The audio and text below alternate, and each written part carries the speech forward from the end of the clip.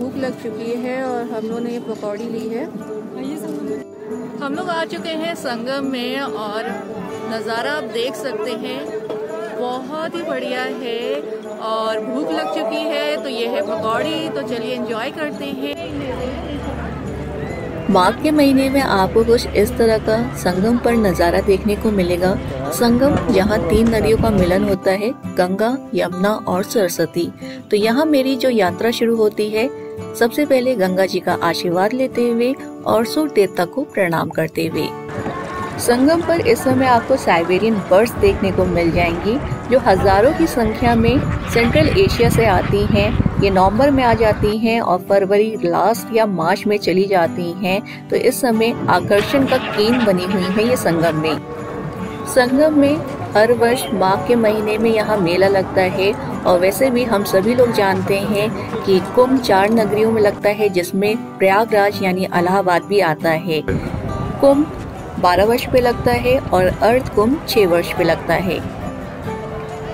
संगम की सैर करते करते अब थोड़ा पीपा के पुल की भी सैर कर लेते हैं। अगर आप साइड में देख रहे होंगे तो ये पीपा है और इसके ऊपर ही ये पुल बनाया जाता है।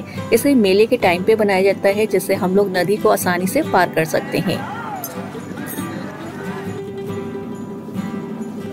तो हमारे पीछे जो आप लोग ये देख रहे हैं, ये है चेंजिंग रूम जो यहाँ नहाता है, वो यहीं चेंज करता है। जगह जगह बना हुआ है। तो जो लेडीज़ हैं और बच्चे हैं, वो यहाँ आके चेंज कर सकते हैं नहाने के बाद।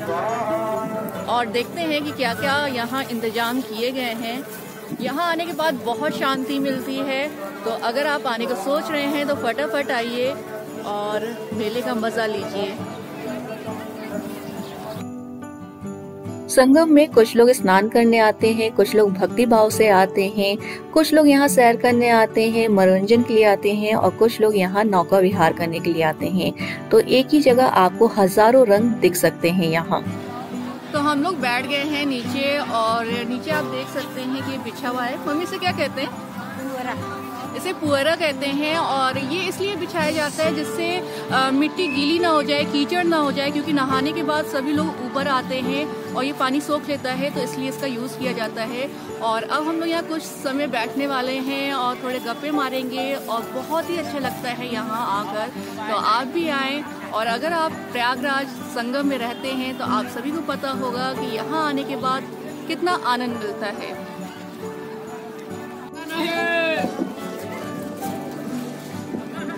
कितने का है भैया? दस रुपये का तो साइबेरियन बर्ड्स को खिलाने के लिए यहाँ कुछ इस तरह के सेब मिलते हैं। शायद ये बेसन के सेब रहते हैं। मैंने इसे खाया नहीं है तो मुझे पता नहीं है। और जब मेरी मम्मी से फेंकी तो ढेर सारी बर्ड एक जगह आ गई। और बहुत ही अच्छा लग रहा था और इनकी आवाज़ें सुन के बहुत ही आनंद आ रहा था। और यहाँ देखिए, बच्चों के लिए मिल रहा है ये चीनी वाली मिठाई। वैसे मैं बचपन में और अभी भी इसे मैं गुड़िया का बाल ही कहती हूँ। आप लोग क्या कहते हैं, इसे ज़रूर बताइए। तो अब आगे चलते हैं। आप चाहे तो यहाँ घंटों बैठकर बिता सकते हैं और समय का बिल्कुल भी पता नहीं चलेगा।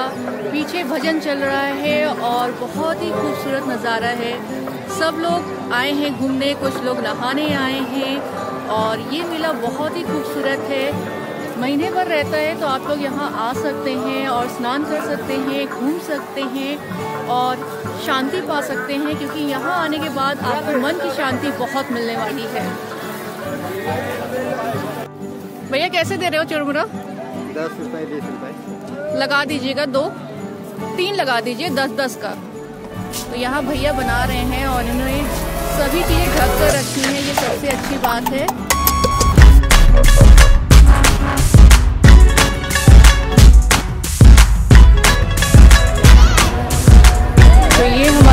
चुरमुरा तैयार हो चुका है, फटाफट बनने वाला और बहुत ही ज़्यादा टेस्टी लगता है। तो अगर आप आ रहे हैं तो इसे ज़रूर इंजॉय करें।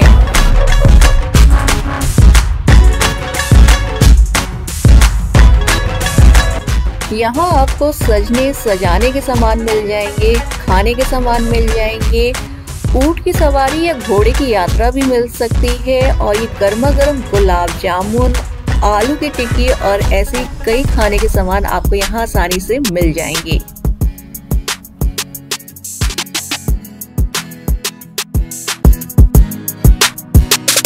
हम लोग आ गए हैं झूला झूलने, जा रहे थे घर और सामने दिख गया झूला। तो चलिए झूला जाए और देखते हैं कितना मज़ा आने वाला है। साल भर बाद में झूला झूलने जा रही हूँ।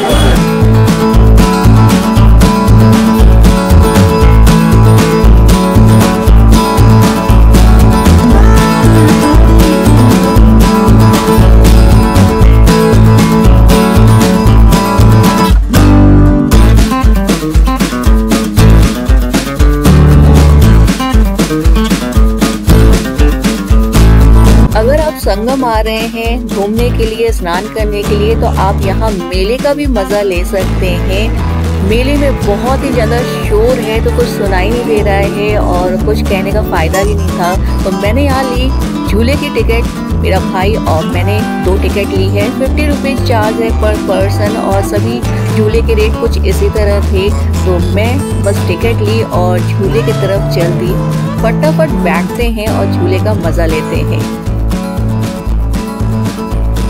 झूला स्टार्ट हो गया है और ये अब गोल गोल घूमने वाला है। वैसे कुछ लोग को चक्कर आते हैं झूले पे तो वो लोग बिल्कुल भी ना बैठे। और ये रिस्की वाला काम नहीं करिएगा, यानी आप शूट मत करिएगा। मैंने यहाँ थोड़ा सा शूट कर लिया था जब झूला धीरे था।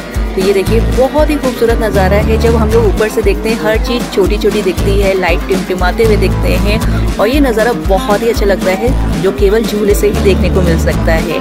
तो यहाँ तो मैं मज़ा ले रही हूँ। और जैसे ही मैं यहाँ नीचे आई आपको यहाँ देखिए खाने को देखने को मिल जाएगा। ढेर सारी वैरायटी है।